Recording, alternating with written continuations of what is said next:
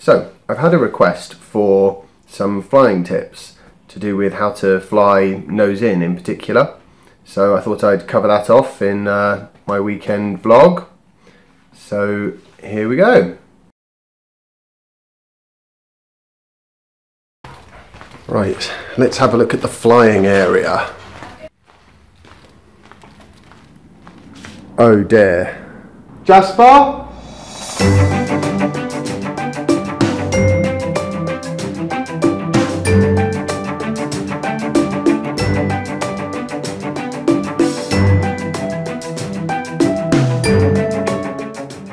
First of uh, the things we're going to be flying is this little quad.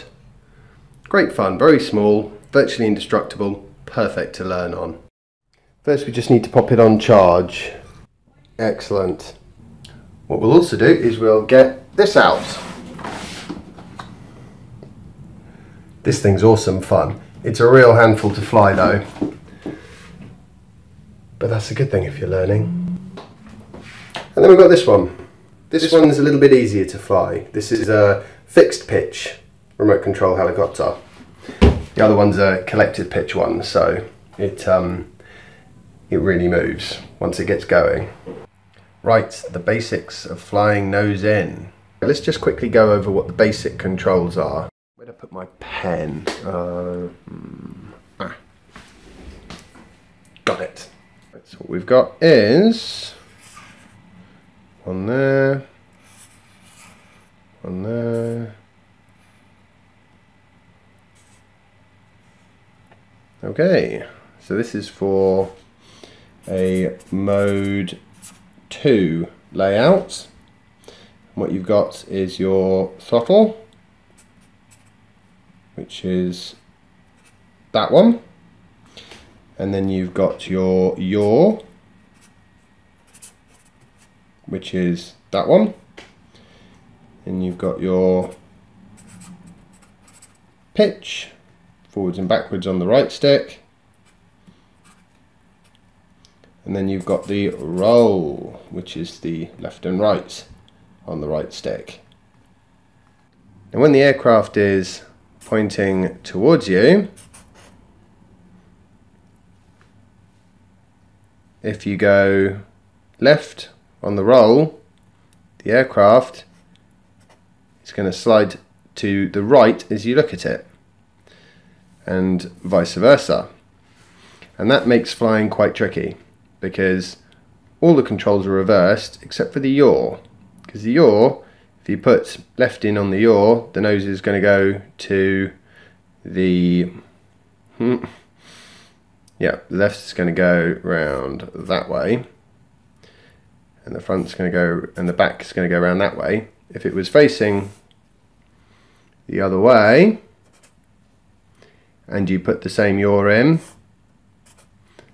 it would still do exactly the same thing. The yaw is only going to reverse if the aircraft's upside down. So in other words, yaw is your friend.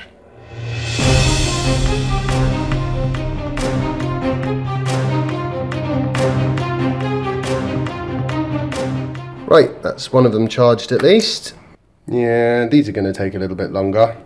We'll fly this one first. The problem with flying uh, quads is, or in fact any kind of drone, they look the same. Is that side on, front on? Yeah? They can be really tricky to keep orientated because they look so similar from all different angles.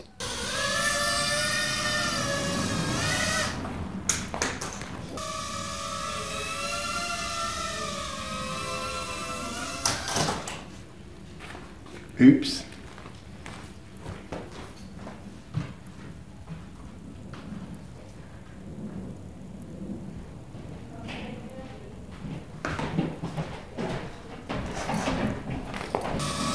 Right, so here's the thing. I do find that using the yaw quite a lot does help you keep your orientation.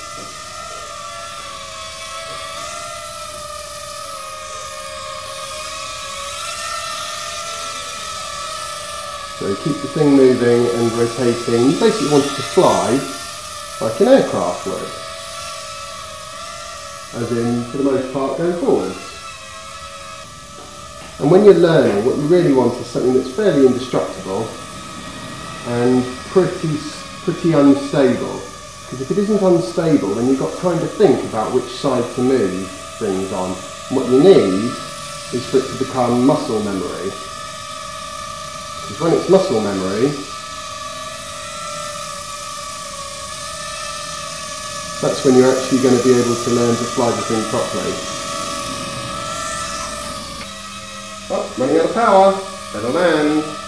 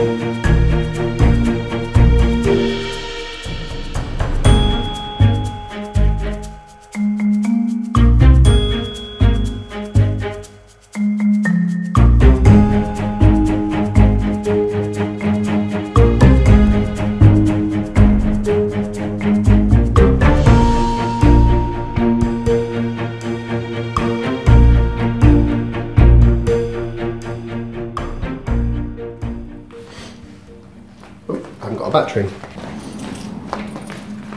That's better. This thing is quite a handful. And off we go. Now, when you're right near the ground, you get something called ground effect. You want to try and get through that as quickly as possible. It's the same when you're landing. Just sort of go up, come down, don't sort of mess around too much when you're just about to take off.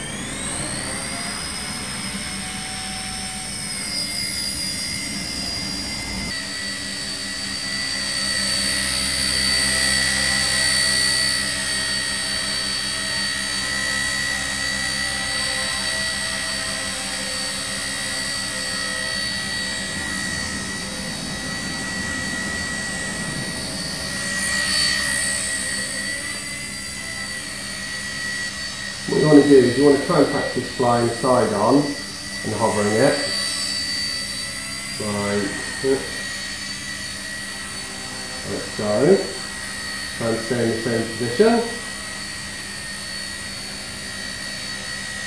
And you want to do the same when you're facing nose in. Just try and hover it there and keep it nice and still. And also the other side of course. And it's that practice, you know, putting in little corrections and always putting them in the right way, that's what makes the difference. And it's not really about thinking about it. If you've got to think about it, the chances are you've, um, it's going to go wrong. So what you want to try and do is just get it into muscle memory so that uh, it all just flows. Right, let's land while it's still in one piece.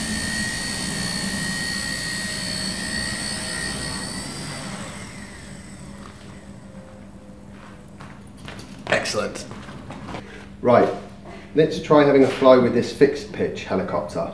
These are less manoeuvrable than the collective pitch ones and consequently a little bit easier to fly. Now I have no idea if this is actually going to fly or not. I haven't flown this helicopter in about two years. Yeah, this is going to be your helicopter when you get old, Jasper.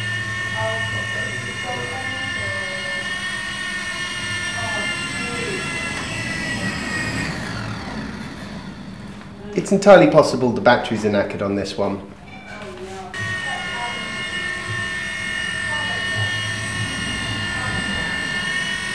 Yeah, these indoor flyers,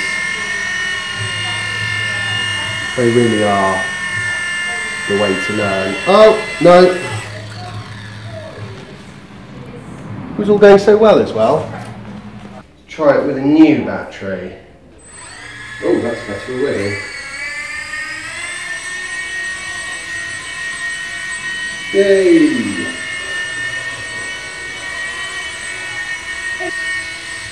Right, this is certainly much easier helicopter to fly than the other one. Then you just want to try and practice with its side arm.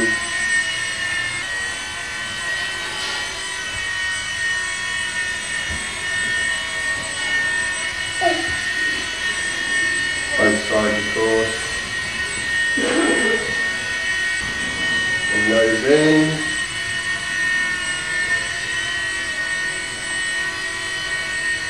It's always easier when it's nose in, if it's ever so slightly not 100% facing towards you. Then just ever so slightly off centre.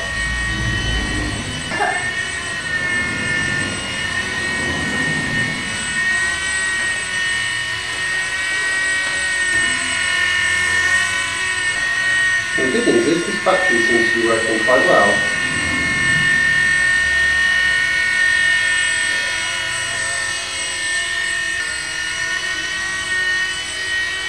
It's all about putting in the time, doing the boring hovering stuff, and you get the hang of it. But it's certainly much easier with a helicopter than it is with a, um, or with a plane or a car than it is with a drone. The thing about drones is they look the same from every angle, which isn't ideal. Right, time to land.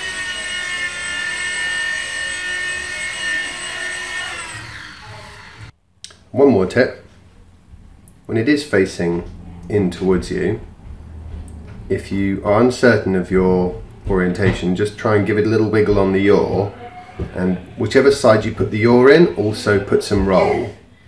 And that way, you'll sort of, it, it'll, it'll get your eye in, so to speak. If you've enjoyed today's vlog, don't forget to uh, subscribe and hit the like button if you haven't already. And um, there'll be more flying tips and uh, various things that I've been trying out with my Phantom 4 uh, in the future.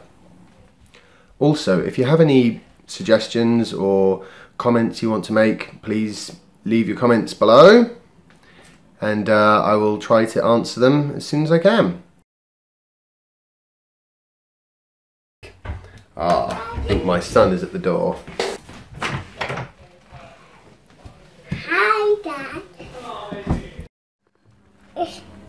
Go. Yeah, that's right.